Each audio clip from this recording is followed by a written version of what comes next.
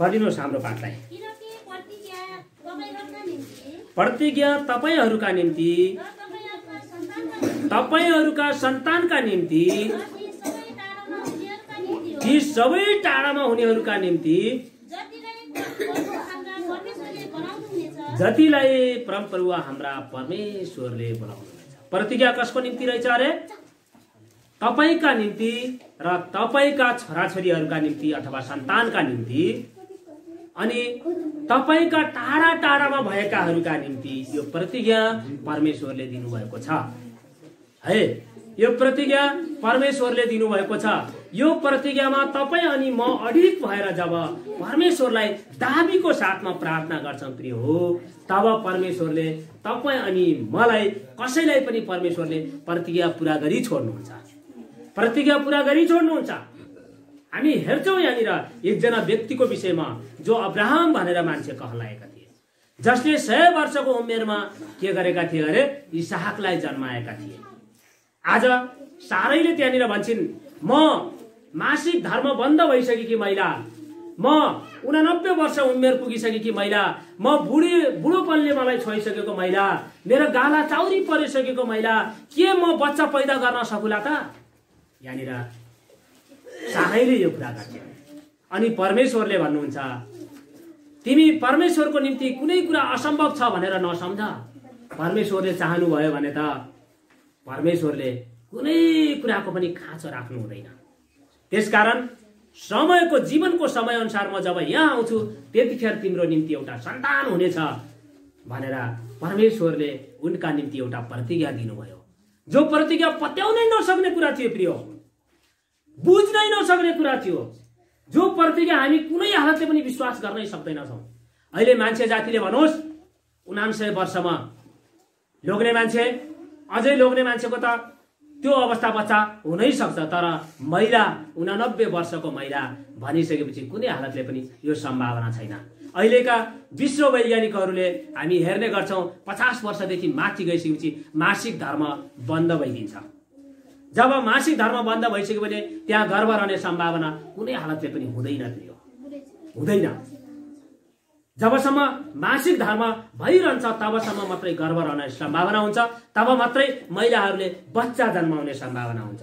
तर यहाँनिर परमेश्वरले उनानब्बे वर्ष कि सारा जो उनानब्बे वर्ष पुगिसकेकी छन् जो वृद्ध अवस्थाका छन् जो बुढी अवस्थाकी छन् ती महिलालाई परमेश्वरले एउटा प्रतिज्ञा दिनुभयो र भन्नुभयो तिम्रो जीवनको समय अनुसार एउटा छोरा जन्मिनेछ भनेर प्रभुले भन्नुभयो।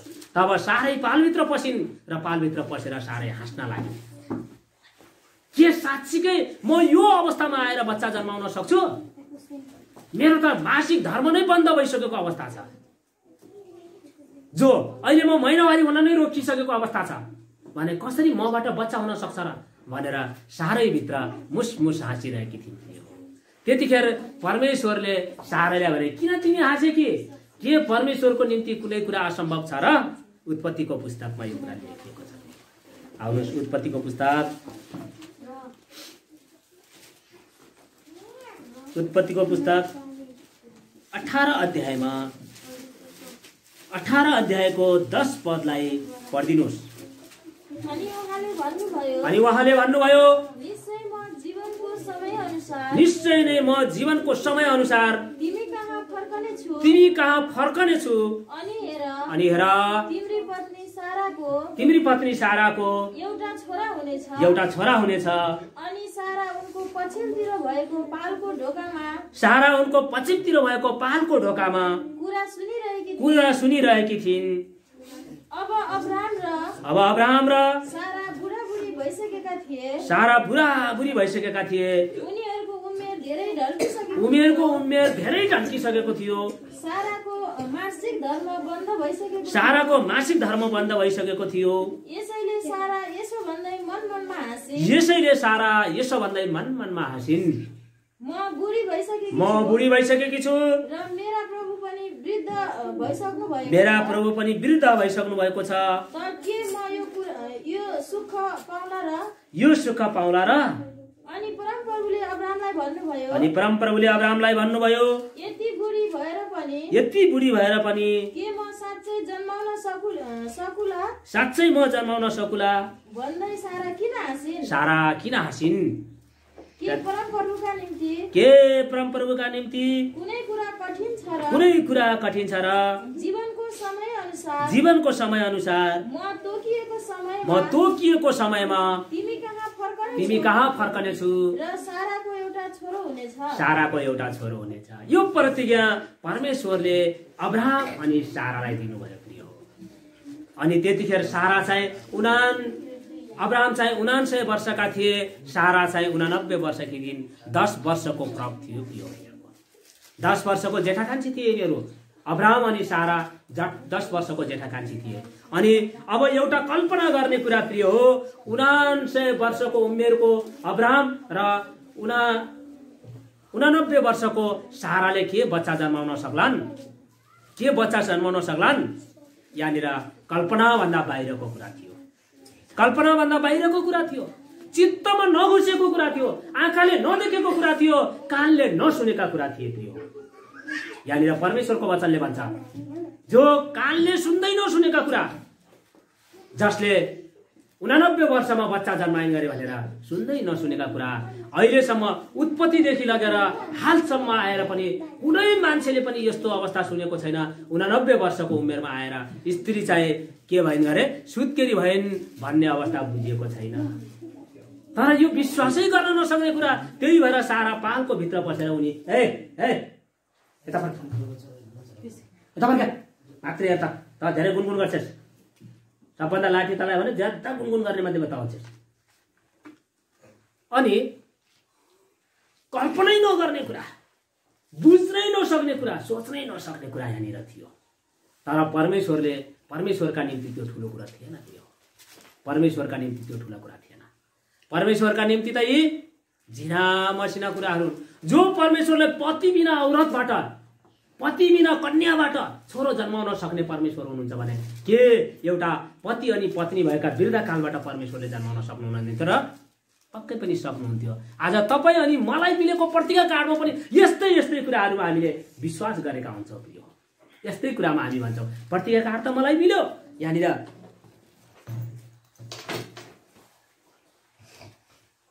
यहाँनिर मत्तिरची सुसमाचारको अँ, हामीलाई यो प्रतिज्ञा कार्ड त यो मिल्यो मण्डलीलाई। यो प्रतिज्ञा कार्ड मिल्यो। तर के यो प्रतिज्ञा कार्ड अनुसार प्रभुले हामीलाई मण्डलीले पुरा गर्नुहुन्छ त? पक्कै पनि गर्नुहुन्छ प्रिय हो। पक्कै पनि गर्नुहुन्छ। साराले यो कुरालाई विश्वास गरिन्। अब्राहमले यो कुरालाई विश्वास गरे अनि साराले उनान्सय उनानब्बे वर्षको उमेरमा छोरा जन्माइन्। आउनुहोस् हामी हेर्छौँ। उन्नाइस एक्काइस अध्यायको दुई पदलाई पढिदिनुहोस्।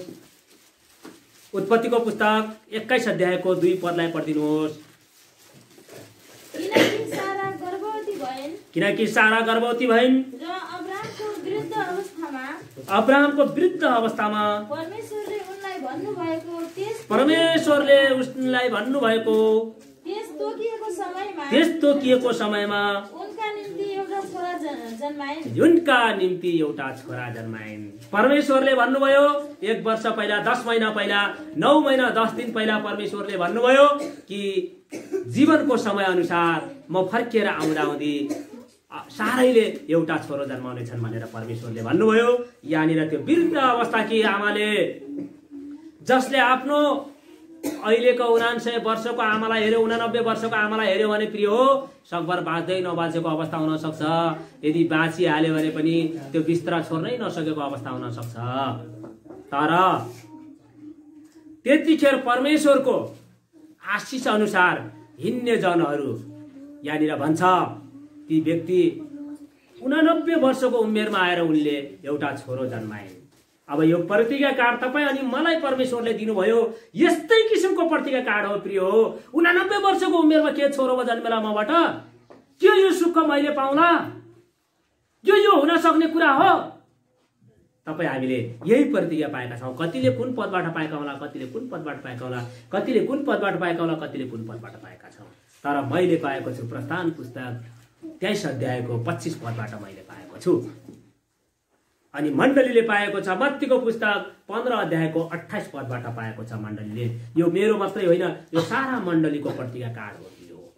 यो पत्रिका कार्ड सारा मण्डलीको पत्रिका कार्ड हो। तर तपाईँ हाम्रो व्यक्तिगत पत्रिका कार्ड प्रभुले प्रत्येकलाई आफ्नो आफ्नो यो मेरो पत्रिका कार्ड हो प्रिय हो। यो मण्डलीको पत्रिका कार्ड हो यो मेरो पत्रिका कार्ड हो। जो मेरो पत्रिका कार्डमा यसरी लेखिएको छ म तिमीहरूका बिचबाट रोगहरू हटाइदिनेछु भनेर यहाँनिर प्रभुले भन्नुभयो। है?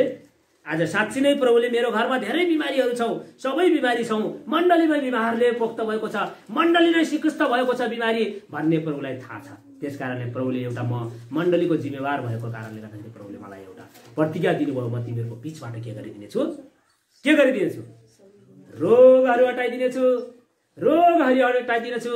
प्रिय हो अब मण्डली यदि हामीले दाबीका साथमा प्रार्थना गर्न सक्यौँ भने दुई हजार बिस सालभित्रै मण्डली चाहिँ के हुनेछ?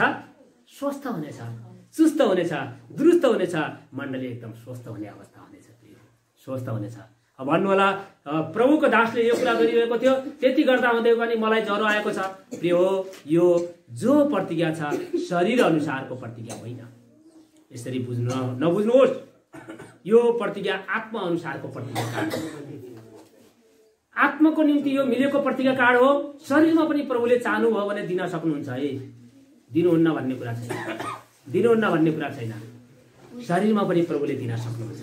यदि प्रभुलाई त्यो दिने इच्छा लाग्यो भनेपछि शरीरमा पनि पाउँछन्। है प्रिय पाउँछन्। सुर्खेतमा एकजना वृद्ध आमा थिइन् एलिम प्रार्थना भवनको नजिकै बस्ने वृद्ध आमा। बिचरा बिस्तरामा लडिरहेको अवस्था थियो। धेरै हस्पिटलमा धाए धेरै धागे झाँग्री धामीहरू गरे कति देवताहरू पुजे कति के के गरे कति के के गरे। बिचरा बुढी आमा झन्झन सिकिस्त हुँदै झन्झन सिकिस्त हुँदै झन्झन सिकिस्त हुँदै उनी मृत्युको मुखमा पुगिसके। जब मृत्युको मुखमै पुगेकी थिइन् तब प्रभुका दास दानियल केसीलाई त्यहाँनिर बोलाइयो। एकचोटि दानियल केसीसँग भेट्नको निम्ति आग्रह गरियो। अनि ती बुढी आमाले दानियल केसीसँग भेट्नको लागि पनि उनीले एउटा इच्छा व्यक्त गरिन्। अनि त्यहाँनिर प्रभुले प्रभुका दासले गएर सुसमाचार सुनाउँदै जानुभयो। सुनाउँदै जानुभयो सुनाउँदै जानुभयो सुनाउँदै जानुभयो। अन्तिममा उहाँले के भन्नुभयो त भन्दाखेरि यदि तपाईँ अहिले नै यतिखेर नै मरिजानुभयो भने पनि तपाईँ स्वर्गको निम्ति तपाईँलाई बाटो खुल्दैछ। के तपाईँ तयार हुनुहुन्छ? प्रभुको इच्छा भयो भने तपाईँ शरीरमा पनि बाँच्न सक्नुहुन्छ। तर तपाईँ बाँच्नु नै हुन्छ भनेर म भन्न सक्दैन। प्रभुको इच्छा रहेछ भने बाँच्न सक्नुहुन्छ। तर तपाईँको निम्ति अहिले नै स्वर्गको ढोका खुल्दैछ। तपाईँको निम्ति अहिले नै प्रभुलाई ग्रहण गर्नुभयो भने अहिले नै अब तपाईँ स्वर्ग जानको निम्ति के तयार हुनुहुन्छ? अनि ऊ ती बुढी आमाले भने म स्वर्ग जान तयार छु। के तपाईँ ग्रहण गर्न तयार हुनुहुन्छ? म ग्रहण गर्न तयार छु। अनि प्रभुको दासले घुँडामा आउनुहोस्। अनि त्यस्तो बिस्तरामा परिरहेकी बुढी आमा अब जब प्रभुको दासले घुँडामा आउनुहोस् भन्न बित्तिकै बिस्तराबाट उठेर घुँडामा आउने सामर्थ्य प्रभुले दिनुभयो। त्यसपछि प्रभुको दासले भन्नुभयो तपाईँले केही भन्न सक्नुहुन्छ म केही भन्न जान्दैन बाबु। त्यसो भए म जे भन्छु तपाईँले भनेको हो भन्ने सोचेर तपाईँले मलाई पछ्याउनुहोस्। अनि प्रभुको दासले बताउँदै जानुभयो बताउँदै जानुभयो बताउँदै जानुभयो। अनि उहाँले ग्रहण गर्दै जानुभयो ग्रहण गर्दै जानुभयो। ग्रहण गरिसकेपछि अहिले ती बुढी आमा छे वर्ष भइसक्यो मरेकी छैन। बिस्तरामा परेर मर्नै अवस्थामा पुगेकी बुढी आमा छे छे वर्ष भइसक्यो। अहिलेसम्म पनि उनी मरेकी छैन प्रभुले शरीरमा पनि उनीलाई आशिष दिनुभयो। तर यसको मतलब मैले यो भन्न खोजेको होइन कि प्रभुमा तपाईँ आउनु बित्तिकै तपाईँको शरीरको रोगहरू निको हुन्छन् भनेर मैले भनेको होइन प्रिय। हो यो भन्न पनि म भन्दैन। किन भन्दैन त भन्दाखेरि मान्छे एक दिन जन्मेको छ त्यो मान्छेले मृत्यु ल्याएर आएको छ मर्नु नै पर्छ। एक न एक दिन मर्नै हो मान्छे। किनकि मान्छे आफ्नै कारणले उसले के गरेको छ? मृत्यु ल्याएर आयो।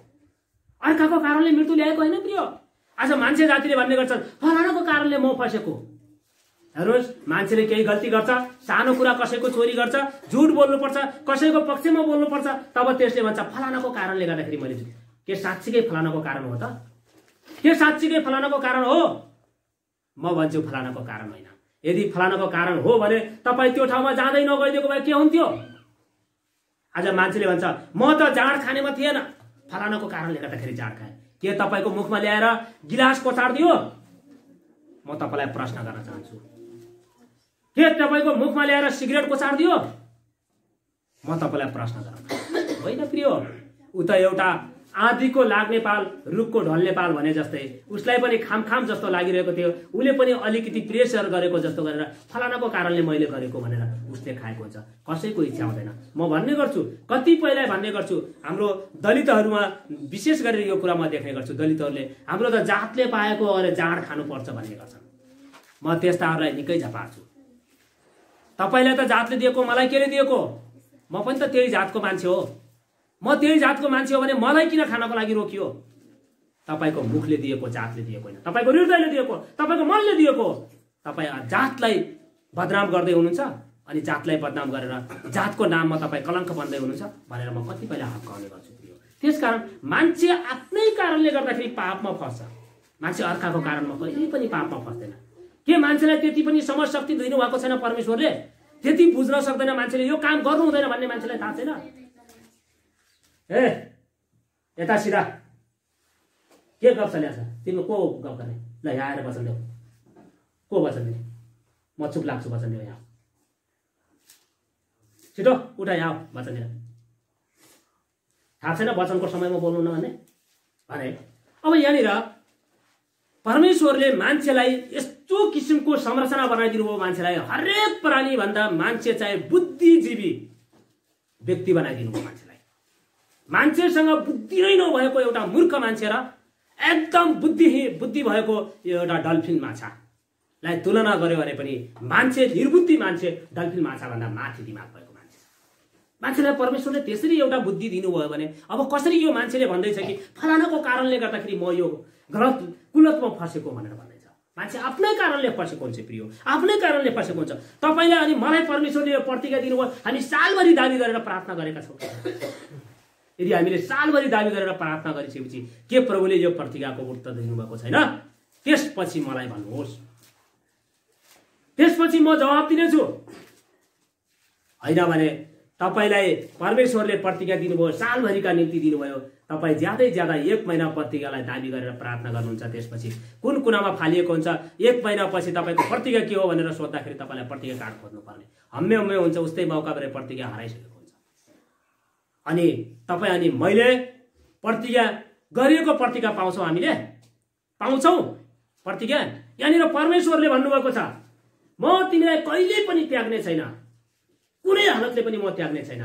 उहाँले भन्नुहुन्छ। परमेश्वरले के भन्नुहुन्छ भने तपाईँ अनि मलाई? यसैयाको पुस्तकमा आउनुहोस् त्यहाँनिर भन्नुहुन्छ म तिमीलाई कुनै हालतले पनि त्याग्ने छैन भनेर भन्नुहुन्छ। बयालिस पद यसैया।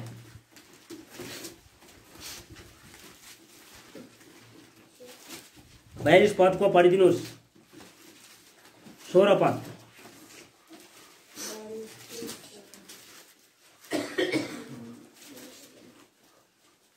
अनि म अन्धाहरूलाई तिनीहरूले नजानेका मार्गमा हिँडाउने छु म अन्धाहरूलाई तिनीहरूले नजानेको मार्गमा हिँडाउनेछु। म तिनीहरूलाई तिनीहरूले नजानेका बाटाहरूमा डोर्याउने छु। म तिनीहरूले नजानेका बाटाहरूमा डोर्याउनेछु म तिनीहरूको सामु अन्धाहरूलाई ज्योति र टेढा मेढा कुराहरूलाई सोझो तुल्याउने छु। म तिनीहरूका सामु अन्धाहरूलाई ज्योति र टेढा मेढा कुराहरूलाई सोझो तुल्याउनेछु यी कुराहरू म तिमीहरूलाई तिमीहरूका निम्ति गर्नेछु यी कुराहरू म तिमीहरूका निम्ति गर्नेछु र तिनीहरूलाई त्याग्ने छैन। तिनीहरूलाई कहिले कहिले त्याग्ने छैन। प्रिय हो आज तपाईँ अनि म आँखा देख्नेहरू छौँ नि। म तपाईँलाई एउटा उदाहरण दिन्छु। तपाईँ अनि म आँखा देख्नेवाला ठेस लागेर तपाईँको अनि मेरो हात खुट्टा भाँचिन सक्छ। भाँचेको रेकर्ड छ प्रिय। तर ती अन्धाहरूलाई हेर्नुहोस् ती नीलकण्ठ सरलाई हेर्नुहोस् ती चन्द्रमणि सरलाई हेर्नुहोस् म एउटा उदाहरण दिन्छु। कहिले लोटेको रेकर्ड छ? कहिले हातखुट्टा भाँचिएको रेकर्ड छ? परमेश्वरले उनीहरूलाई डोर्याइरहनु भएको छ प्रिय। परमेश्वरले उनीहरूलाई साथमा हिँडाइरहनु भएको छ। त्यसकारण तपाईँ हामी दिनका सन्तान भनेर हिँडेका छौँ राति तपाईँ अनि हाम्रो हातमा टर्च भएन कुनै हालतले पनि अगाडि हामी हिँड्न सक्दैनौँ प्रिय हिँड्न सक्दैनौँ। तर तिनीहरूलाई के दिन के रात? तर उनीहरू बराबर अगाडि ढुङ्गो राखेको छ भने उनीहरूलाई ढुङ्गो छ यहाँनिर भन्ने थाहा हुन्छ। यहाँनिर खाल्डो छ भने यहाँनिर खाल्डो छ भन्ने उनीहरूले थाहा पाउँछन् प्रिय। यहाँनिर अगाडिबाट केही आइरहेको छ भने यहाँनिर कोही आएको छ भन्ने कुरा थाहा पाउँछौँ। तपाईँ हामी आँखा देख्ने मान्छे एक वर्ष पहिला देखेको मान्छेलाई हामी एक वर्ष पछि देख्यो भने भुलिन्छौँ अनि त्यो मान्छेले चिनिहाल्यो कहीँ कतै नमस्कार गरिहाल्यो भनेपछि हामी भन्छौँ मैले हजुरलाई चिनेन हो। तपाईँको परिचय दिनुहोस् न। तर ती अन्धाहरूलाई हेर्नुहोस्। एउटा बालकृष्ण भन्ने भाइ बिचरा दुवै आँखाका ब्लाइन्ड छन् तिनी भाइसँग म तिन वर्ष पहिला मेरो घरमा बसेर थोरै कुरा गरेको थिएँ। तिन वर्षपछि तिनीसँग मेरो भेट भयो। मैले भने भाइ बालकृष्ण अरे दाजु दिलीप दाजु नमस्कार। ल हेर्नुहोस्। तिन वर्ष पहिला उसको र मेरो थोरै कुरा भएको थियो। तिन वर्षपछि उसले आवाज सुन्न बित्तिकै दिलीप दाजु नमस्कार भनेर भन्छ। कस्तो परमेश्वरको अद्भुतको काम प्रिय हो। आज हामी भन्ने गर्छौँ अरे त कुनै जन्ममा गरेको पापको कारणले गर्दाखेरि अन्धा भएर आएको हो। कुनै यसको बाउ बाजेको पालामा गरेको पापको कारणले गर्दाखेरि बहिरा भएर आएको हो। होइन प्रिय हो त्यो त तपाईँ अनि मलाई आँखा देख्नेहरूलाई परमेश्वरले एउटा नमुना राखिदिनु भएको हो। एउटा नमुना राखिदिनु भएको यी अन्धाहरूलाई हेर यी बहिराहरूलाई हेर यी लाटाहरूलाई हेर।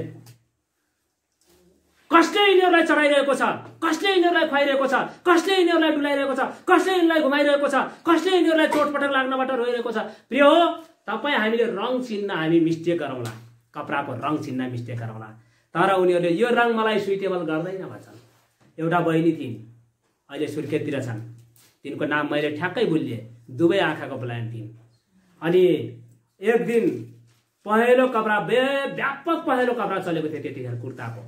अनि उनीले पहेँलो कपडा ल्याएर आइन्। मैले तिनीले के गर्छन् ती बहिनीले भनेर मैले त्यो पहेँलो कपडालाई अलिकति छक्क्याउन खोजेर मैले साइडमा राखेर अर्को कपडा हात पारिदिएँ बहिनी तपाईँको होइन दाजु मेरो त पहेँलो छ पहेँलो रङ छ भनेर भने। मेरो पहेँलो रङ छ यो रङको होइन मेरो कपडा। प्रिय हो कसरी तिनीले रङ चिन्न सफल भए? तपाईँ अनि मैले हिजो मात्रैको एउटा घटना म मेरै हातबाट घटेको घटना म बताउँदैछु। कसैलाई बयालिस हजार दिनुपर्ने थियो। मेरो श्रीमतीले पनि फटाफट गरेर दिए बयालिस हजारवाला भनेर। मैले पनि त्यसलाई नगरेर ठ्याट्ट लगेर उसको हात पारिदिएँ। त्रिचालिस हजार रुपियाँ गएछ अनि त्यो मान्छेसँग म गएर भने मेरो त्रिचालिस हजार आयो आएको छैन भनिदियो मैले हजार रुपियाँको लागि मर्नु केही छैन भन्नु छैन केही। यस्ता हजार रुपियाँ म कयौँ कमाउन सक्छु तर मेरो बेचेत गर्नु छैन भनेर म फर्केर आएँ। म आँखा देख्ने मान्छे म मात्रै नभएर मेरो श्रीमती पनि आँखा देख्ने मान्छे दुई दुईजनाले आँखा देख्ने मान्छे भएर पनि हामी एउटा नोटमा झुक्यौँ। तर ती अन्धाहरूलाई हेर्नुहोस् कहीँ। एक रुपियाँमा झुकिन्छन् कि झुकिँदैनन् झुकिन्छन् कि झुकिँदैनन् कसले डोर्यायो यिनीहरूलाई? कसले यिनीहरूसँग काम गर्यो प्रिय हो कसले काम गर्यो? पैसा छानेर पत्ता लगाउँछन् यो यतिको नोट हो यो यतिको नोट हो यो यतिको नोट हो। के बिरेल भाषामा पैसामा खोपिएर लेखिएको छ? उनीहरू बिरेल भाषामा पढ्नेहरू व्यक्तिहरू हुन्। तर तपाईँ हामी आँखा देख्ने भएर पनि त्यसरी हामी झुकिन सक्छौँ। ती आँखा नदेख्ने भए तापनि ती झुकिन सक्दैनन् यो परमेश्वरको कार्य हो। तपाईँ अनि मेरो निम्ति उदाहरणै राखिएको प्रिय। हो तपाईँ अनि मेरो निम्ति अगाडि राखिएको। हेर एउटा अन्धाले पनि यसरी काम गर्न सक्छ भने त त आँखा देख्ने व्यक्ति होस्। त आफ्नो परमेश्वरले गरेको काम सृष्टिका कामहरूलाई देख्न सक्दैनस्। प्रिय हो आज नदी बगाइदिनु भएको छ परमेश्वरले तपाईँ अनि मेरो निम्ति। रुखहरू बनाइदिनु भएको छ परमेश्वरले तपाईँ अनि मेरो निम्ति। आकाश गणहरूलाई बनाइदिनु भएको छ परमेश्वरले तपाईँ अनि मेरा निम्ति। तर हामी त्यही परमेश्वरले बनाएको त्यही परमेश्वरले बनाएका चिजहरूलाई हामी भर्दै बुझ्दै आइरहेका छौँ। ती कुरा छोडिदिनुहोस्। ती कुरा छोडिदिनुहोस्। ती त धेरै लामाको कुरा भए कमसेकम परमेश्वरले बनाएका ती आकाश गणहरू हामीले देख्न त पाएनौँ। तर तपाईँ अनि मैले आफ्नै हातले कुनेका ढुङ्गाका मूर्ति तपाईँ अनि मैले आफ्नै हातले बनाएका सुनारका मूर्ति सुनले बनाएका मूर्तिहरू सुनका गजुरहरू पित्तलका गजुरहरूलाई गएर हामी ढोकर्ने गर्छौँ। कसले बनायो त्यो? बाबुलाई ढोकर्नु छ कि? छोरालाई ढोकर्नु छ। जन्माउनेवाला ठुला कि जन्मिनेवाला ठुला प्रिय हो? जन्माउनेवाला ठुला हो। नि त त्यसो हो भने तपाईँ हामीले आफ्नै हातले त्यो सुनका मूर्ति बनायौँ कसले जन्मायो त्यो मूर्तिलाई? तपाईँ हामीले जन्मायौँ कि त्यो मूर्तिले तपाईँ हामीलाई जन्मायो प्रिय हो? त्यही मूर्तिलाई लगेर पछि फेरि हामी मन्दिरमा लगेर शुद्ध हो। यो मूर्ति नै सबैभन्दा ठुलो हो भन्ने प्रक्रियामा गइदिन्छ अब बुझ्नुपर्ने कुरा कहाँनिर छ परमेश्वरले तपाईँ अनि मलाई यो बोल्नको निम्ति जिब्रो बनाइदिनु भयो। यही जिब्रोले आज त्यो परमेश्वरलाई भन्छौँ कहाँ छन् परमेश्वर? कसले देखेर आएको छ परमेश्वर? उहाँले गरेका यावत कामहरूले बताएको छैन र परमेश्वर पृथ्वीमा झरी वर्षाइदिइरहनु भएको छ त्यसले बताएको छैन परमेश्वर हुनुहुन्छ भनेर। पृथ्वीमा घाम दिइरहनु भएको छ त्यसले बताएको छैन र परमेश्वर हुनुहुन्छ। पानीमा बिजुली राखिदिनु भएको रहेछ परमेश्वरले आज पानीबाट मान्छेले बिजुली उत्पादन गरे। त्यसमा मान्छेले गौरव गर्नु पर्दैन र परमेश्वरले यहाँ बिजुली राखिदिनु भएको रहेछ। है? पानीमा के कुरा राखिदिनु भएन परमेश्वरले? आज घाममा परमेश्वरले के राखिदिनु भएन हेर्नुहोस् त सौर्य ऊर्जाहरू उत्पादन भइरहेको छ। परमेश्वरले त दिनुभएको रहेछ त। परमेश्वरले यी सबै कुराहरू दिँदा दिँदै पनि हामीले किन परमेश्वरलाई यी जिब्रोले अनि यी आँखाहरूले देख्दा देख्दै यी जिब्रोहरूले उहाँलाई उहाँको विरुद्धमा हामी बोल्दैछौँ त प्रिय हो। किन बोल्दैछौँ? किनभने यही कुरा हो परमेश्वरले तपाईँ अनि मलाई प्रतिज्ञा दिनुभयो तर हामी परमेश्वरको विरुद्धमा हामी लागेका छौँ। एक सालभरि हामीले प्रतिज्ञालाई दावी गरेर प्रार्थना गर्न सक्दैनौँ। एक सालभरि गर्न नसकेपछि अनि परमेश्वरले मलाई प्रतिज्ञा दिनुभएको थियो। त्यो प्रतिज्ञा कहाँ पुरा गरिदिनु भयो त परमेश्वरले? भन्दैछ प्रियो कसको कारण? कसको कारण? परमेश्वरले भन्नुभएको छ जाँचेर हेर मलाई। के गरेर गरे? जाँचेर हेर म तिमीहरूलाई दिन्छु कि दिन्न? म तिमीहरूलाई दिन्छु कि दिन्न? मलाई जाँचेर हेर। मलाई जाँचेर हेर। मलाई चाखेर हेर। मलाई जाँचेर हेर भन्नुहुन्छ मलाखीको पत्री। पुस्तक तिन अध्यायको दस पदलाई पढिदिनुहोस् मलाखी तिनको दस पदलाई पढिदिनुहोस्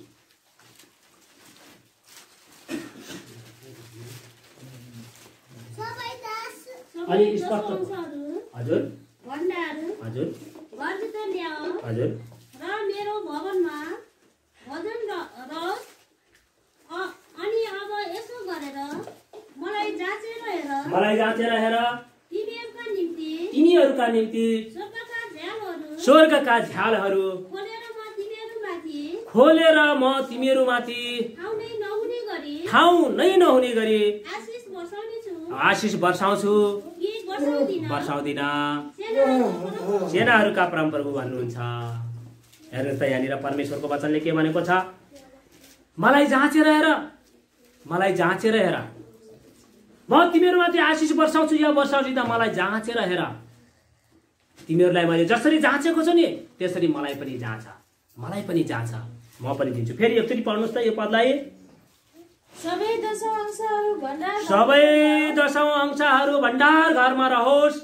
र मेरो भवनमा भोजन रहोस्। मेरो घरमा भजन रहोस्। अनि अब यसो गरेर मलाई जाँचेर हेर। यसो गरेर मलाई जाँचेर हेर। तिमीहरूका निम्ति स्वर्गका झ्यालहरू खोलेर म तिमीहरूका निम्ति स्वर्गका झ्यालहरू खोलेर म तिमीहरूमाथि ठाउँ नै नहुने गरी तिमीहरूमाथि ठाउँ नै नहुने गरी आशिष वर्षाउँछु कि वर्षाउँदिन सेनाहरूका परमप्रभु भन्नुहुन्छ। प्रिय हो परमेश्वरको घरमा हामीले कहिले दसौँ साल ल्यायौँ उहाँले प्रतिज्ञा दिनुभयो। प्रतिज्ञा त उहाँले दिनुभयो तर उहाँले दिएको प्रतिज्ञा उहाँले भनेको काम हामीले पुरा गर्यौँ गर्यौँ अनि उहाँले दिएको प्रतिज्ञा किन पुरा हुँदैन भनेर हामी भन्दैछौँ। हामीले उहाँलाई जाँच्नु पऱ्यो कि जाँच्नु परेन? उहाँले मलाई जाँच्नुहुन्छ भने मैले उहाँलाई जाँच्ने कि नजाँच्ने? यहाँ परमेश्वर आफैले भन्दै हुनुहुन्छ मलाई जाँचेर हेर। मलाई जाँचेर हेर। मलाई जाँचेर हेर। म कस्तो लायकको छु? एकचोटि सबै कुराहरूलाई जाँच्यौँ प्रियो हामीले। संसारका सबै थोकहरूलाई हामीले जाँच्यौँ। हरेक देवी देवताहरूलाई हामीले जाँच्यौँ। कुनै देवी देवता यस्तो भएन हामीले भाले नदिएको भेडो नदिएको बाख्रा नदिएको। खसी नदिएको बोका नदिएको राँगा नदिएको केही नदिएको हामीले कुनै देवता पनि भएन। केही उपाय लागेन भने त्यो सबै दिने थोक भएन भने धजा त पक्कै पनि दिउँ नि हामीले। दियौँ नि हामीले तर खै हामीले गरेको मनोकामना पुरा भएको? खै हामीले मागेको चिज पुरा भएको? आज एकचोटि ती ईश्वरलाई जाँचौँ न त। एकचोटि उहाँलाई चाखौँ न त। एकचोटि उहाँलाई टेस्ट गराउँ न त। उहाँले भन्नुभयो एकचोटि विचार गरौँ। उहाँले भनेका कुरा पुरा हुन्छ कि हुँदैन विचार गरेर हेरौँ जाँचेर हेरौँ उहाँलाई हामीले सबै थोकलाई जाँचेका छौँ संसारको नदीलाई पूजा गरेर हेरेका छौँ हामीले बर पिपललाई पूजा गरेर हेरेका छौँ हामीले मूर्ति पूजा गरेर हेरेका छौँ हामीले मन्दिरहरूभित्र पूजा गरेर हेरेका छौँ हामीले चर्चको गुम्बाभित्र हामीले पूजा गरेर हेरेका छौँ हामीले चर्च घरभित्रै गएर पनि हामीले पूजा गरेर हेरेका होला कतिपय ठाउँमा पूजा गऱ्यौँ तर के परमेश्वरलाई पूजा गऱ्यौँ हामीले के परमेश्वरलाई जाँच्यौँ हामीले के परमेश्वरलाई चाख्यौँ हामीले के परमेश्वरलाई हेऱ्यौँ हामीले के परमेश्वरसँग माग्यौँ हामीले माग्यौँ भनेपछि पक्कै पनि मिल्नेछ भन्छ। मत्ती र चिसो समाचार सात अध्यायको।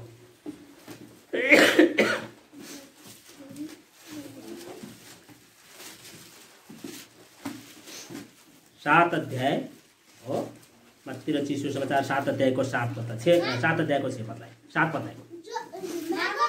एकछिन बच्चा बच्चीलाई एकछिन है पढ्ने मान्छेलाई भयो माग र तिमीहरूलाई दिइनेछ। खोज र तिमीहरूले भेटाउनेछौ। ढकढक्याउ र तिमीहरूका निम्ति खोलिनेछ। प्रिय हो माग्न जरुरी छ। माग्न जरुरी छ। जब हामी माग्दैनौँ भनेपछि हामीलाई कहिल्यै पनि प्रतिज्ञा पुरा हुँदैन कहिल्यै प्रतिज्ञा पुरा हुँदैन। हामी माग्न तयार छैन। एउटा दुध पिउने बच्चा हेर्नुहोस्। एकचोटि त्यो दुध पिउने बच्चाहरूको विषयमा सोच्नुहोस्। जबसम्म बच्चा रुँदैन तबसम्म आमाले दुध पिलाउँदैन हो आमाले दुध पिलाउँदैन। हो किन भन्नुहोस् त?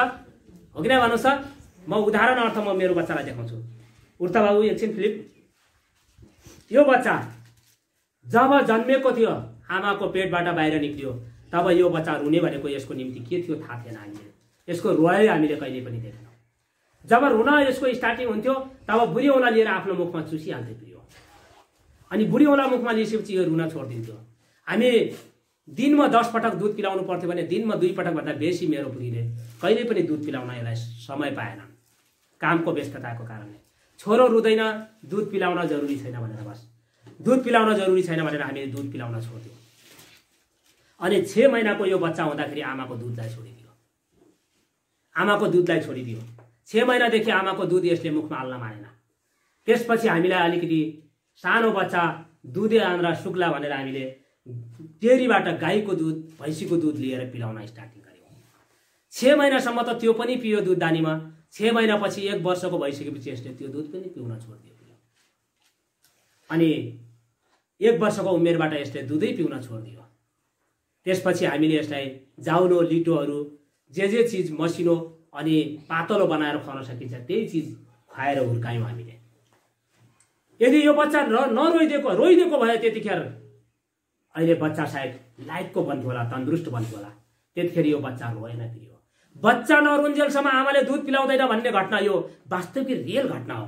आज तपाईँ अनि मैले परमेश्वरसँग माग्दैनौँ भने परमेश्वरले आफै जाना जानी दिने कुरा छैन त्यो माग्नुपर्छ हरेक कुरा। एउटा बाबुलाई एउटा बच्चाले स्कुलमा पढ्दैछ त्यो बाबुले कापी सिद्धि त्यो बच्चाले बाबुसँग मेरो कापी सिद्धियो नभनन्जेलसम्म त्यो बाबुले किनिदिन्न प्रिय हो जब त्यो बच्चाले भन्छ मेरो कापी सिद्धियो बुवा बाबा मेरो कलम सिद्धियो मलाई त्यो चिज चाहियो भनेर भन्छ। तरै पनि बाबुले त्यो कुरालाई मान्दैन। मान्छ? मान्दैन। पैसा भए पनि नभएको जस्तो अल्याङ तल्याङ गर्न उसले बाहना गर्न भन्छ फेरि भन्छ फेरि भन्छ फेरि भन्छ। तपाईँलाई बार बार जब दिक्क बनाउँछ दिक्क बनाइसक्यो भने अनि तपाईँले पैसा निकाल्नुहुन्छ। ल छोरा तँलाई जे आवश्यक पर्छ त्यो कुरा ल्याएर आइज भनेर तर पहिल्यै पटकमा कोही बाबु यस्तो छैन होला स्मरण गर्नुहोस् है। जति पनि माया गरेको छोरो होस् जति पनि प्रेम गरेको छोरी होस् तर त्यो बाबुले एकैचोटिमा मागेको बेला दिएको गरेका छैन त्यो। छैन। म यो कुरालाई दावाको साथमा भन्छु। कुनै पनि बाबु होस् एकैचोटिमा छोराले माग्न बित्तिकै ठ्याट्ट निकालेर दिएको रेकर्ड छैन। जबसम्म त्यसले परेसानी गर्दैन तबसम्म दिँदैन प्रिय। दिँदैन। यहाँनिर यही कुरा गरिएको छ। हामी सिमसोनको विषयमा हामीले हेऱ्यौँ भनेपछि सिमसोनले आफ्नो प्राण दिएको छ प्रिय हो प्राण दिएको छ। बार बार मागेको कारणले गर्दाखेरि त्यो पनि कसको निम्ति थाहा छ? एउटा बेसी आइमाईको निम्ति प्राण दिएको छ। एउटा दलिला भन्ने बेसी आइमाईको निम्ति दिएको छ प्रिय। हो त्यो बेसी आइमाईसम्म लाग्न लाग्यो। अनि उसको प्राणको विषयमा उसले सोध्दैछ तपाईँलाई कसरी शास्ति दिन सकिन्छ? तपाईँलाई कसरी मार्न सकिन्छ? तपाईँलाई कसरी कमजोर बनाउन सकिन्छ? तपाईँलाई कसरी तपाईँको यो शक्ति चाहिँ भङ्ग गर्न सकिन्छ? भनेर उसले सोधिरहेको छ। अनि उसले बार बार सोधी। पहिलोचोटि सोधिए उसले भन्छ ताँदो ल्याउनुहोस् धनुको ताँदो। त्यो नसुकेको ताँदोले मलाई बान्नुभयो भने भन्छ। अर्कोचोटि सनपाटको डोरीको कुरा गर्छ अर्कोचोटि नेलको कुरा गर्छ अर्कोचोटि अर्को के को कुरा गर्छ। तरै पनि उसले त्यो सबै कुराहरू झुट हो भन्ने कुरा उसले थाहा पाउँथ्यो। गर्न त गर्छ त्यो झुट हो भन्ने कुरा गर्छ। अन्तिममा उसले के गर्छ ज्यानै जानै गरी उसको निम्ति के गर्छ उसले सोधखोज गर्छ। आउनुहोस्। हामी न्यायकर्ताको पुस्तक। न्यायकर्ताको पुस्तक हामी सोह्र अध्यायको सोह्र पदलाई पढिदिनुहोस्। अनि यस्तो भयो। त्यसलाई दिनहुँ आफ्ना शब्दहरूले व्यथित पारिरहँदा विवश तुल्याइरहँदा तिनको प्राण ज्यानै जाला जस्तो गरी व्याकुल भयो। त्यहाँदेखि तब तिनले उसलाई आफ्नो सम्पूर्ण हृदय खोलेर बताइदिए। र त्यसलाई भने त्यसलाई भने मेरो कपालमा कहिल्यै छुरा परेको छैन। मेरो कपालमा कहिल्यै छुरा परेको छैन।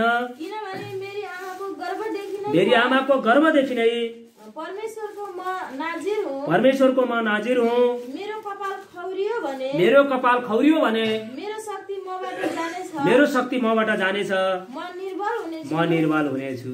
प्रिय हो यसलाई हामी सोह्र अध्यायबाट यो पढ्नुभयो भनेपछि हामी सोह्रको सोह्रमा गएर यसले एकदम व्याकुल बनाएर यसले यो आइमाईले उसको पुरा भेदहरू लिएकी छ प्रिय उसको प्राणको कुरा थियो उसको मृत्युको कुरा थियो। यहाँनिर सिमसोन मर्नु पर्ने कुरा थियो। त्यो मर्नु पर्ने कुरा पनि यसले व्यतीत बनाए मान्छेलाई व्याकुल बनाए मान्छेलाई सोधेको सोधै गरी सोधेको सोधै गरी अनि त्यहाँदेखि ऊ एकदम थकित भएर आफ्नो मृत्युलाई पनि उसले बताइदियो। मेरो मृत्यु यसमा छ भनेर बताइदियो। मेरो मृत्यु यसमा छ भनेर बताइदियो।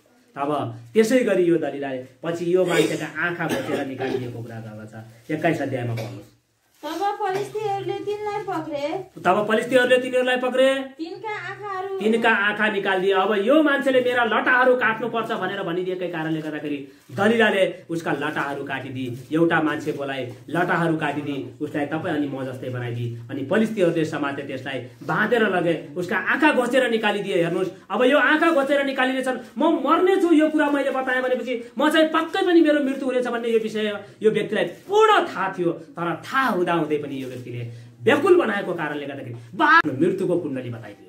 आफ्नो मृत्युको कुण्डली बताइदियो। आफ्नो मृत्युको कुण्डली बताइदियो। यसै कारण प्रभुले तब जब तपाईँ अनि मैले परमेश्वरलाई बार बार हामी माग्छौँ जब परमेश्वरसँग हामी मागिरहन्छौँ तब परमेश्वरले हामीलाई उदार चिजसँग दिनुहुन्छ भने नझर्किकन दिनुहुने परमेश्वरसँग त्यसले के गरोस्?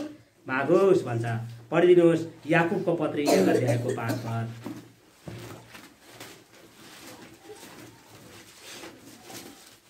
कति समय भयो मैले धेरै समय लाग्दै कि तपाईँहरूको? हँ? तर तिमीहरू मध्ये तिमीहरू मध्ये कसैलाई बुद्धिको खाँचो छ भने बुद्धिको खाँचो छ भने उसले परमेश्वरलाई मागोस्। त्यसले परमेश्वरसँग मागोस्। जसले सबै मानिसहरूलाई जसले सबै मानिसहरूलाई मन खोलेर मन दिनुहुन्छ। एउटा मानिसलाई होइन प्रिय हो एउटा मानिसलाई मलाई मात्रै होइन यो कुरा एउटालाई मात्रै होइन प्रिय। हो यो सारा संसारको मानिसहरूलाई परमेश्वरले मन खोलेर दिनुहुन्छ। यहाँनिर भन्छ उदार चिजसँग नझर्किकन दिनुहुने परमेश्वर भनेर भन्छ। पढ्नुहोस् त पुरानो अनुवादमा नयाँ अनुवादमा यो कुरा लेखेको छैन। अ, उदार चिजसँग त्यहाँनिर भन्छ। पुरानो अनुवाद कोसँग छ? पढ्नु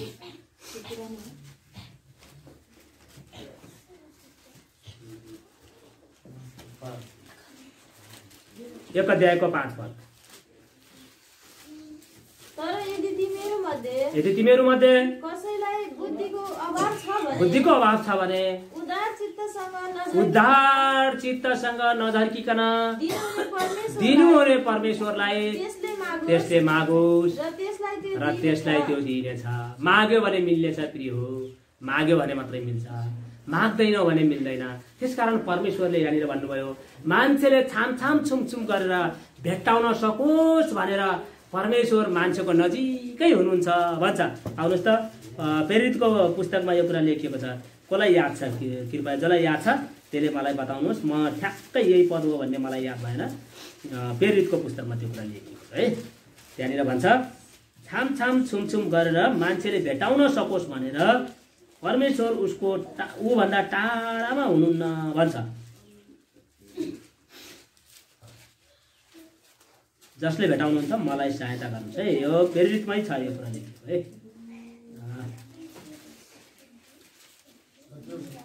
सत्र अध्यायको सत्ताइस पदलाई पढ्नु तिनीहरूले प्रभुलाई खोजुन्। खोजुन्। भनेर। सायद उहाँलाई छामछाम छुमछुम गरेर। भेटाउलान् भेटाउलान् तैपनि उहाँ हामी हरेकबाट। टाढामा हुनुहुन्न। प्रियो तपाईँ अनि म भन्दा परमेश्वर टाढामा कहिल्यै पनि बस्नु हुँदैन। हमेसा नजिक हुनुहुन्छ। हामीले छाम्दाखेरि भेटाउन सक्छौँ उहाँलाई। हामी धेरै टाढा जानु पर्दैन परमेश्वरलाई खोज्नको निम्ति। यहाँबाट काशी जानु पर्दैन प्रियो। यहाँबाट हामी हरिद्वार जानु पर्दैन। यहाँबाट हामी बर्दिनाथ जानु पर्दैन। केदारनाथ जानु पर्दैन। अमरनाथ जानु पर्दैन। पशुपतिनाथ जानु पर्दैन। धेरै टाढा भाडा खर्च गरेर हामी जानु पर्दैन प्रियो। उहाँलाई हामीले छानियो भने भेटाउन सक्छौँ। यसरी हामीले छानियो भने परमेश्वरलाई भेटाउन सक्छौँ। अब छाम्ने जिम्मा तपाईँको अनि मेरो। परमेश्वरले भन्नुभएको छ म तेरो काखैमा बसेको छु है।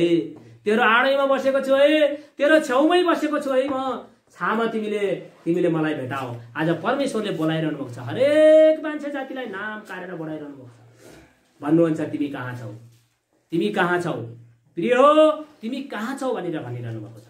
अब तपाईँ अनि मैले परमेश्वरको आवाज सुन्ने या नसुन्ने तपाईँ अनि मेरो माथि जिम्मेवारी छ।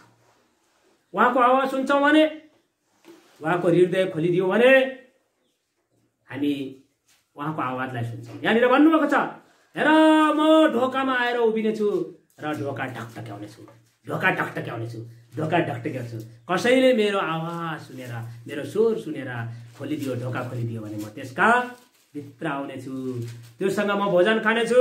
त्यसले मसँग खानेछ भन्नुहुन्छ। प्रकाशित वाक्य तिनको बिस। हेर म ढोकामा उभिन्छु। र ढकढक्याउँछु र ढकढक्याउनेछु कसैले मेरो स्वर सुन्यो र कसैले मेरो स्वर सुन्यो र ढोका खोलिदियो भने म म उसका भित्र आउनेछु। र म उसँग भोजन खानेछु। अनि उसले मसँग प्रिय आज परमेश्वरले तपाईँको ढोका घचकचाइरहनु भएको छ। ढोका घचकचाइरहनु भएको छ। परमेश्वरले मान्छे जातिलाई ढोका घचकचाउनको लागि मान्छेलाई नै माध्यम बनाएर पठाउनु भएको छ प्रिय हो। आज साँच्ची नै परमेश्वरले किन मान्छेलाई नै पठाउनु भएको भन्ने कुरा छ। परमेश्वरले गाईलाई पठाउन सक्नुहुन्थ्यो। हाम्रो नेपालमा अनि भारतमा गाई पठाउन धेरै उपयुक्त छ हो। किन भन्नुहोस् त? हो किन भन्नुहोस् त? किन? किनभने हाम्रो नेपाल अनि हाम्रो भा- नेपाल र भारतमा गाईलाई माताको रूपमा मान्ने गर्छन् देवताको रूपमा मान्ने गर्छन् तर त्यही गाईलाई अमेरिकामा त्यही गाईलाई मुसलमान एरियामा काटेर खाइदिन्छन् फेरि त्यहाँ देवता हुँदैन। त्यसलाई काटेर खाँदाखेरि त्यो देवता हुँदैन। यहाँ चाहिँ देवता हो त्यो। एउटा फेसबुकमा लेखेर पठाएको थियो। त्यो भारतकै मान्छेले लेखेर पठाएको थियो। मोदीजी मजासँग थालीमा सुनको थालीमा भात खाइरहेका थिए अनि गाई चाहिँ नालीमा चरिरहेको थियो। फेसबुकमा त्यो फोटो खिचेर पठाएको थियो। मोदीको पनि फोटो हालेको थियो अनि गाईको पनि फोटो हालेको थियो। अनि भनेको थियो आमा नालीमा छोरो थालीमा भनेर लेखेको आमा चाहिँ नालीमा अरे नालीको भात खाइरहेको छ। छोराले चाहिँ सुनको थालमा भात खाइरहेको छ भनेर लेखेर पठाएको थियो फेसबुकमा। है? आमालाई नालीमा खुवाइरहेका छन्। आमा भनेर मानिरहेका छन् नालीमा खुवाइरहेका छन्। छोराले चाहिँ थालीमा खाइरहेको छ। हाम्रो नेपालको र हिन्दुस्तानको भारतको आमा हुन् गाई भनेको तर त्यही गाईलाई खारी मुलुकमा फेरि आमा भन्दैनन् त्यहाँ चाहिँ एउटा के भन्छन्? तिनीहरूले आफ्नो आहारा खाऊ भनेर भन्छन्। है? त्यसकारण यो नेपालमा र भारतमा एउटा गाईलाई पठाइदियोस् परमेश्वरले। यदि मान्छे जातिबाट सुसन्देश नपठाउने हो भने गाईलाई परमेश्वरले पठाइदिउन् अहिले। यहाँ रामघाटको कुरा छोडिदिनुहोस् प्रिय। हो यति मात्रै फेसबुकमा अथवा युट्युबमा हालेर पठाइदिनुहोस् गाई बोलेको मात्रै। फलानु ठाउँमा गाई बोलिरहेको छ ए सारा सृष्टिका मानिसहरू परमेश्वरको दिन नजिकै छ। घुडा टेक परमेश्वरको दिन क्रोधको नजिकै छ। पश्चाताप गर। घुडा टेक अन्यथा तिमीहरूको निम्ति बन्छ र तिमीहरूको जरामा लागेको छ भनेर त्यो गाईले बोलिदिएको भए आज के हुन्थ्यो? सारा नेपाल र भारतका मान्छे अरू अन्य जातका मान्छेहरू त आउँथेनन् है किनभने मुसलमानहरू आउँथेनन् अरू इसाईहरू पनि आउँथेनन् त्यहाँ। किनकि गाईले भनेको कुरालाई उनीहरूले विश्वास गर्थेनन् नि। तर भारतका र नेपालका मान्छेहरू गाईलाई माता मान्ने भएको कारणले गर्दाखेरि गाईले भनिदिएको भए सब मान्छेहरू त्यहाँ त्यो कुरा सत्य हो भनेर त्यसको पछाडि लाग्थे नै भन्नुहोस् त। टोटल मान्छेहरू लाग्थे। तर मान्छेहरू त लाग्थे। परमेश्वरले चाहेर भारत र नेपालको मान्छेहरूलाई टोटल्लै परमेश्वरको तर्फमा ल्याउन सक्नुहुन्थ्यो। तर पनि परमेश्वरले किन ल्याउनु भएन थाहा छ? किन त्यो गर्नु भएन थाहा छ? मान्छे जातिले बुझ्ला नि। गाई गोरु लगायत अरू अरू चिजहरूले मान्छे नबोल्ने प्राणीले त्यो कुरा आएर बोलिदियो भने मान्छे चाहिँ बाध्यताले घुँडा टेक्छ। सो इच्छाले घुँडा टेक्दैन। प्राण बचाउनको निम्ति मात्रै घुँडा टेक्छ मान्छेले। बुझ्नुभयो त? प्राण बचाउनको निम्ति मान्छेले घुँडा घुँडा टेक्छ। ऊ चाहिँ बुझेर घुँडा टेक्दैन। भित्रबाट उसको हृदयबाट आएर उसले परमेश्वरको सामु घुँडा टेक्दैन। त्यो चाहिँ उसको के हो? बाध्यता हो। तर मान्छेले परमेश्वरलाई के गर्न चाहनुहुन्छ? सो इच्छाले स्वतन्त्र भएर आफ्नो इच्छाले परमेश्वरलाई चिनोस् भन्ने इच्छा भएको कारणले परमेश्वरले मान्छेलाई मान्छेद्वारै सुसमाचार सुनाउनु भयो पठाउनु भयो नत्र गाईद्वारा पनि परमेश्वरले सुसमाचार सुनाउन सक्नुहुन्थ्यो।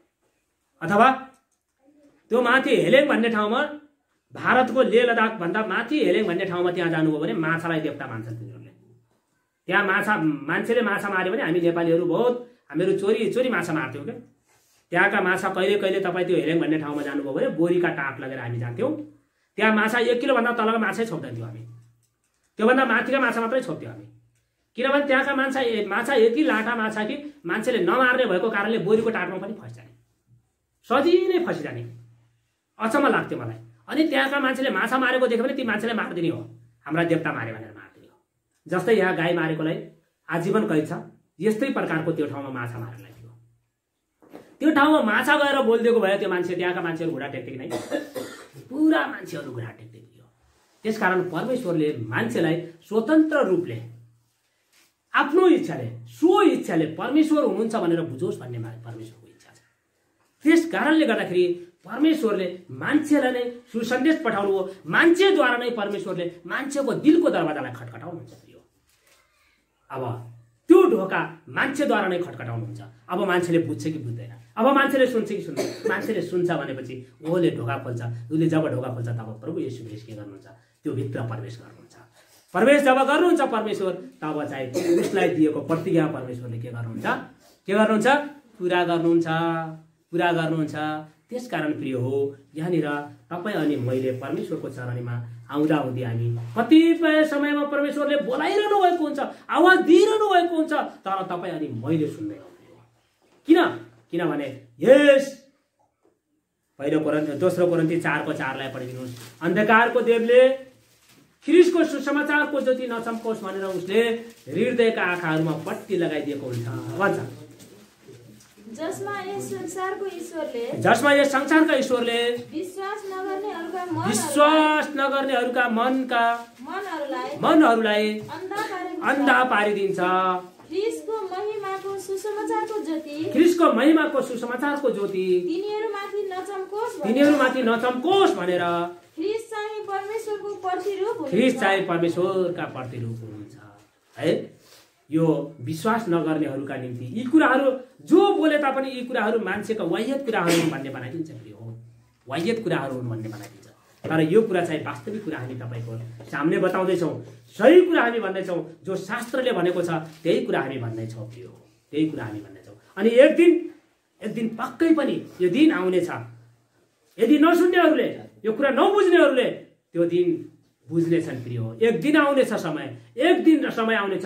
सारा संसारका मरेका मान्छेहरू जीवित मान्छेहरूको निम्ति एक दिन समय परमेश्वरले दिनुभएको छ। एक दिन परमेश्वरले तोकिदिनु भएको छ त्यो दिन। त्यो दिनमा प्रिय हो। जतिजना आज हामीले चिनेका छौँ जतिजना हामीले भेटेका छौँ सब मान्छे भेटिने अवसर पाउनेछ हामीले एक दिन मात्रै छ त्यो दिन। एक दिन मात्रै परमेश्वरले राख्नु। तर पछुताउने घडी पाइने छैन। पछुना पछुताउनको निम्ति के हुने छैन अरे?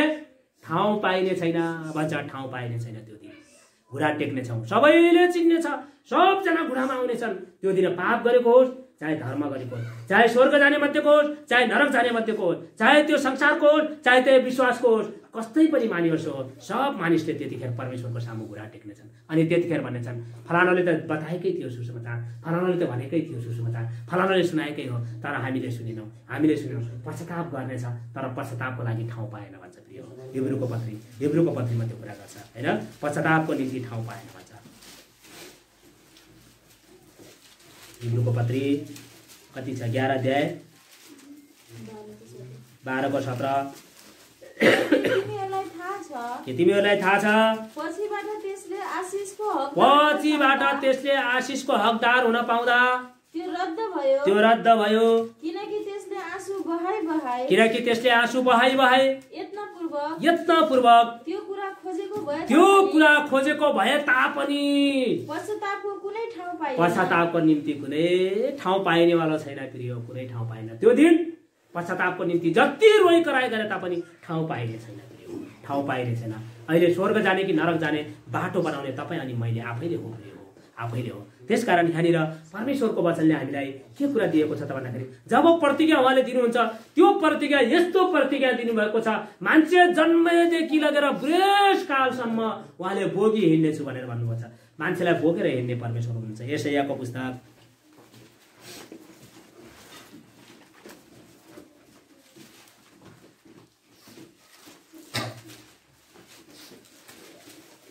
यसै छयालिसको चार पदलाई पढिदिनुहोस्।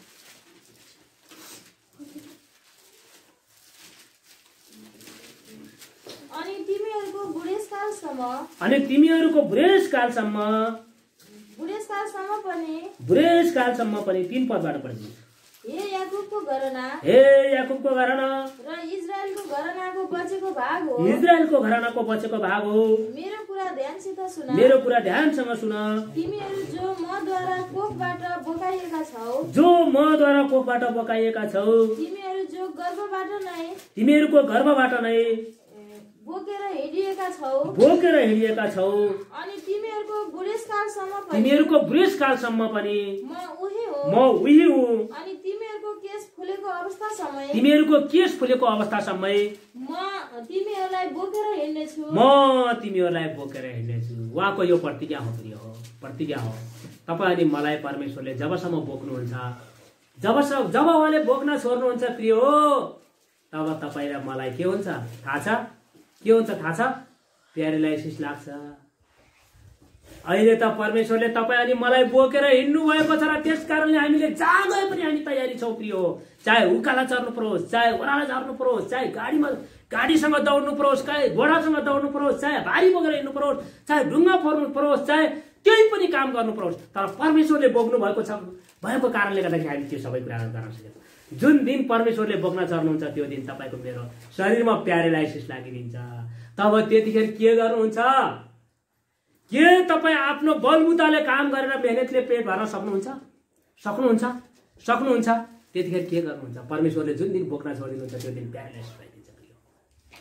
प्यारालाइसिस भइदिएको दिनमा परमेश्वरले बोक्न छोडिदिनुहुन्छ तपाईँलाई। परमेश्वरले जब बोक्न छोड्नुभयो तब तपाईँ हामी बिमारी भइदिन्छौँ प्रियो। जब उहाँले बोक्न छोड्नुहुन्छ तब तपाईँ हामी यस्तो रोग लागिदिन्छ यस्तो रोग लागिदिन्छ।